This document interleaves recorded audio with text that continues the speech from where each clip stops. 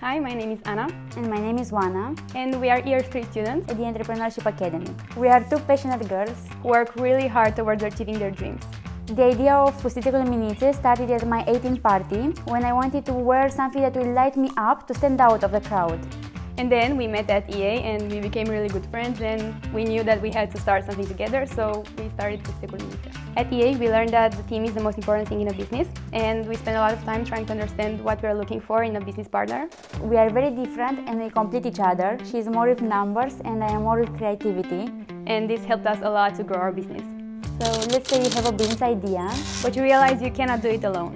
So EA is the best place where you can find a partner and together you will bring the idea to life. What I love the most about EA is that it pushes you to start right away. I mean, you don't have any time to lose. The thing is that you would love to attend the classes. And I'm sure that you'll learn something which you can actually apply in your business. Come to the EA and find out how to make passion and hard work work.